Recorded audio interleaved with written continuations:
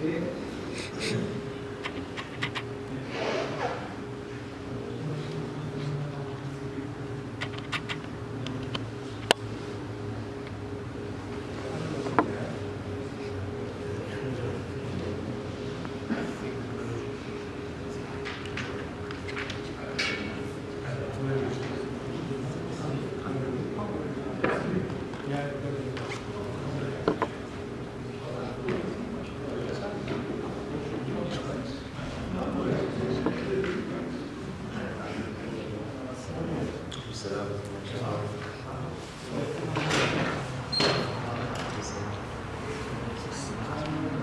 بسم الله الرحمن الرحيم الحمد لله رب العالمين والصلاة والسلام على أشرف الأنبياء والمرسلين سيدنا محمد وعلى آله وأصحابه أجمعين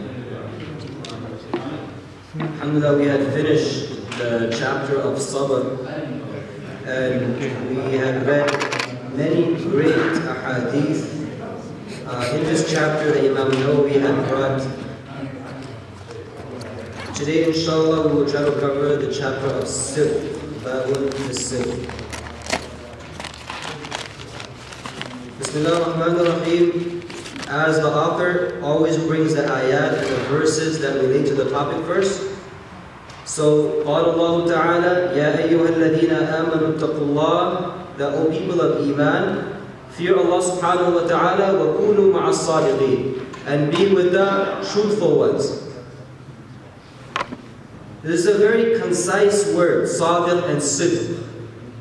This does not only mean to be truthful in your statements, but to be truthful in your actions as well.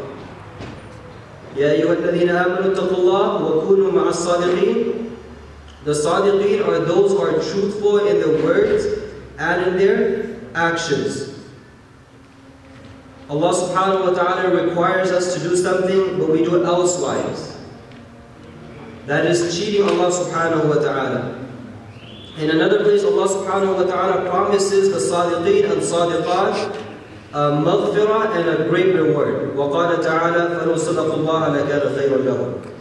وأما الأحاديث فالأول حديث 54 وعن ابن مسعود رضي الله عنه عن النبي صلى الله عليه وسلم قال Ibn Mas'ud رضي الله عنه relates from the Prophet صلى الله عليه وسلم he says that the Prophet said, إِنَّ الصِّدْقَ يَهْدِي إِلَى الْبِرِّ إِنَّ الصِّدْقَ يَهْدِي إِلَى الْبِرِّ That truthfulness leads to bir, leads to, uh, leads to righteousness and truthfulness. وَإِنَّ الرَّجُلْ وَإِنَّ الْبِرَّ يَهْدِي إِلَى الْجَنَّةِ And when sidq and truthfulness leads you towards bir and being righteous, Rasulullah says, وَإِنَّ الْبِرَّ يَهْدِي إِلَى الْجَنَّةِ And that same bir, that same righteousness, that same truthfulness will lead you towards Jannah as well. Rasulullah was again a teacher of no comparison. He would love to break things for the Sahaba. So he said that إِنَّ الصِّدْقَ يَهْدِي إِلَى الْبِرِّ وَإِنَّ الْبِرَّ يَهْدِي إِلَى الْجَنَّةِ وَإِنَّ الرَّجُلَ لَيَصْدُقُ حَتَّى يُكْتَبَ عِنْدَ اللَّهِ صِدِّيقًا and a, and a man always and continuously speaks the truth until Allah subhanahu wa ta'ala writes him as a truthful person. So this is not only the case of us human beings that we know a person that always lies, this guy's a liar. Don't ever believe in anything he says. This is also the case of Allah subhanahu wa ta'ala. That the more we speak of truthful of truthfulness, Allah subhanahu wa ta'ala writes us as siddiq. And then the opposite, وَإِنَّ الْكَذِبْ يَهْدِي إِلَى الْفُجُورِ And lying leads towards fujur and ma'asi and sins.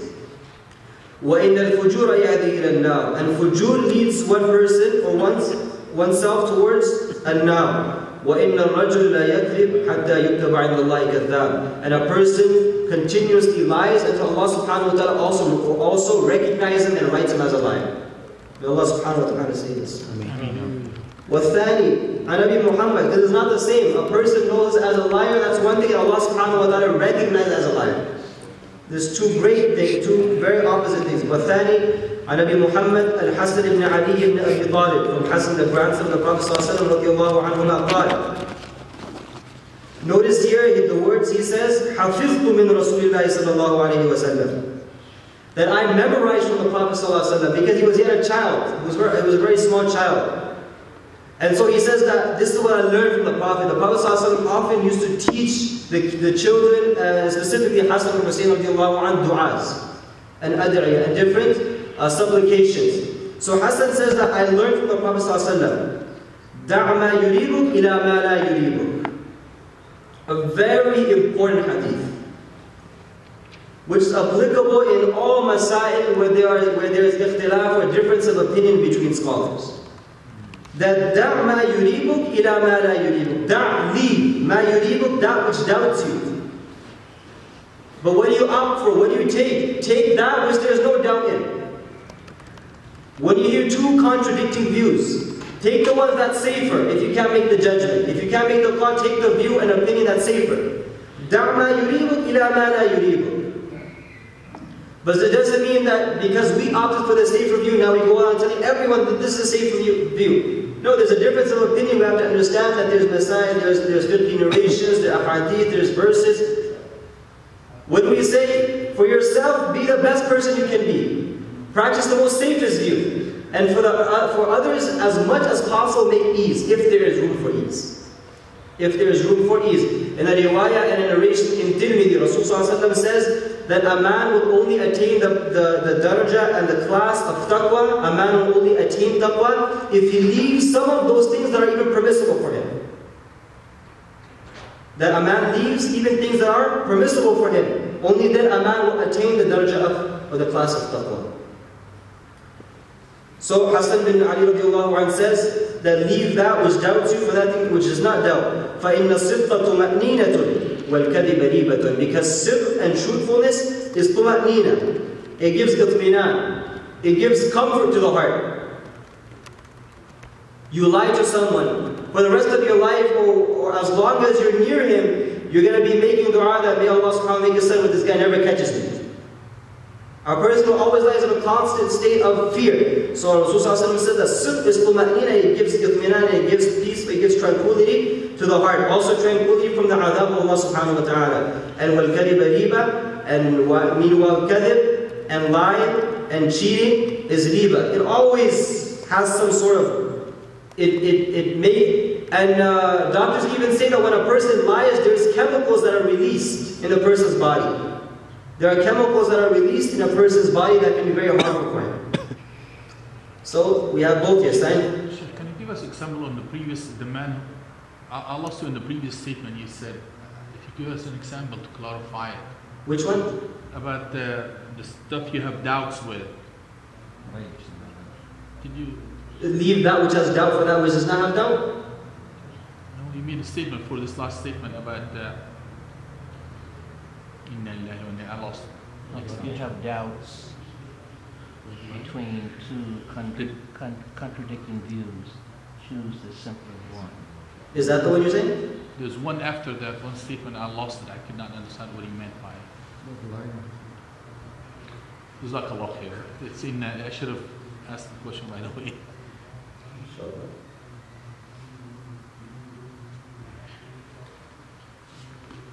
And الثالث, the third hadith, hadith number 56, the third in this chapter, عن أبي سفيان صخر بن حرب رضي الله عنه في حديثه الطويل في قصة في قصة هرقل.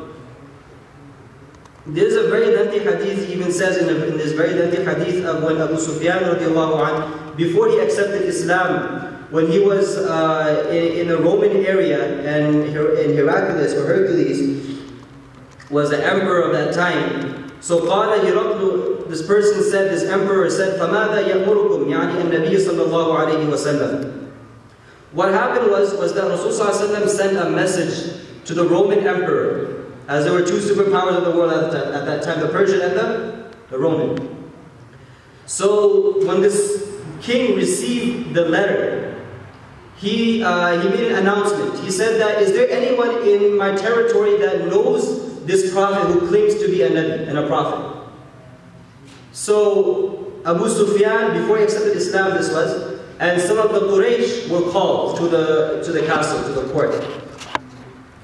And what the king did was that he placed Abu Sufyan in the front and he put all his other companions, the rest of the Quraysh, behind some curtains. And he said that I'm going to ask this person questions and then you ask the people behind him questions. If they match, then it's all good. If they don't, then we know something is wrong. So anyways, um, this Roman emperor, he asked Abu Sufyan that what does your Nabi tell you to do? What is he order? What, what is this deen that he has brought? فماذا يأمركم؟ يعني النبي صلى الله عليه وسلم. قال أبو سفيان Abu Sufyan said, it is not mentioned here, but in Bukhari is mentioned, that he said, he told the people after that I swear I would have lied if there weren't people behind me. I was scared that these people, they would ask him something else and they would give a different reply. So the safest thing is to say the truth. So, yani, so Abu Sufyan said that Rasulullah he ordered us that Allah, he commanded us to worship Allah wahdah by himself. وَلَا تُشْرِكُوا بِهِ شَيْئًا And not to ascribe partners with him. وَاتْرُكُوا مَا يَقُولُ آبَاؤُكُمْ And leave what your forefathers told you, uh, has said to you. وَيَأْمُرُنَا بِالصَّلَاةِ Here he's going to give the core of, uh, of Islam. وَيَأْمُرُنَا بِالصَّلَاةِ He orders us to pray salah. وَالصِّدْقِ And he orders us to be truthful. He orders us to be truthful. وَالْعَفَافِ وَالصِّلَةِ and he orders us to be free from all types of things that would that would make a stain on you was sila and he orders us that any family ties that we have broken we should join them back together now if you look at this hadith here when he's giving us the core of Islam, there are some things Abu Sufyan mentions that, that mankind even looks up to. Was sila. Someone has broken a family tie with you, you go and fix it. Wal afaf. And was sidq. So it's not only salah, Abu Sufyan didn't say orders to make to do zakat, Hajj bin the Fardiyah came much after. But he gave us some core things that every every person should look, look up to.